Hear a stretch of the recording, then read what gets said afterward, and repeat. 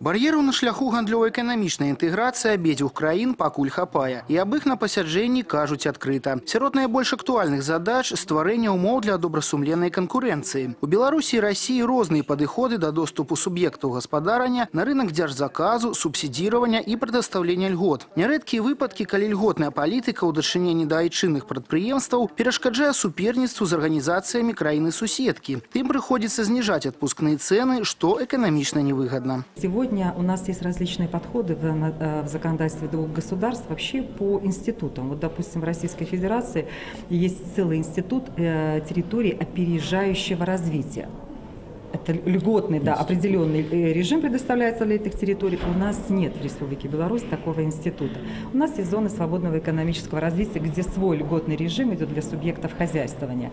И, конечно, здесь есть э, проблемы. Здесь нужно тоже выравнивать э, вот эти два института для наших же субъектов хозяйствования Асобная тэма прыгранічнае супрацоўніцтва. Рост рэгіянальных паказчыкаў эканамічных зносінаў сёння вышэйшы за агульнадзяржаўныя. Напрыклад, Смаленская вобласць мае тавараабарот з нашай краінай у паўтара мільярды долараў і гэта далёка не мяжа. Аднак практычна кожны з запрошаных на пасяджэнне прадстаўнікоў рэгіёнаў Беларусі і Расіі азначае такую праблему. Немагчыма ў якасці асобных суб'ектаў быць заказчыкам праграм саюзнай дзяржавы. Тым часам гэта паскорыла б інтэграцыю ў сферы гандлёва-эканамічных зносінаў. Прапаную будуць у хуткім часе часе прапрацоўвацца і вынікі абмяркуюць у верасні на пятым форуме рэгіёнаў у Магілёве. Практика работы к субъектах приграничных территорий, будь то Могилев, Брянск, э, Гомель, Псков, действительно мы, мы идем от, э, От жизни. к- от жизни, от конкретных проблем, где главы субъектов выговаривают о том, что их беспокоит, и пытаемся это трансформировать в законодательные инициативы.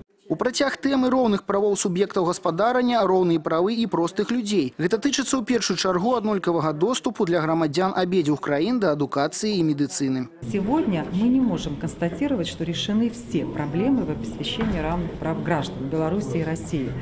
И поэтому мы подготовили такой итоговый документ по всем сферам а, в виде рекомендаций мы подготовили. И э, результатом этих рекомендаций будет то, что они направляются э, в Совмин союзного государства и в Постком.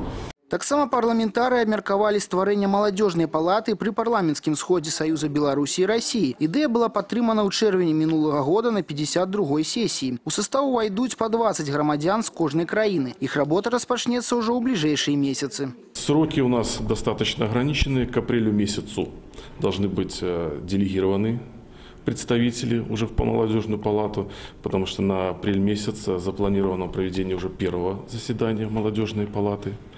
Э, К маю месяцу э, какие-то решения молодежной палаты будут уже выноситься на заседание самой, самого парламентского собрания. Молодежный парламент вообще не надо ограничивать ни в каких темах, абсолютно. Потому что у нас такая практика в России уже существует. У нас существует молодежный парламент, который мы сегодня, их представители, будем дел- делегировать уже в нашу, скажем так, реальность сегодняшнего союзного государства. И я уверен, что молодежь абсолютно ограничить не надо. Они у нас очень умные, очень коммуникабельные. И я уверен, что они предложат э, максимально большое количество решений вопросов, которые м, заводят нас порой в тупик.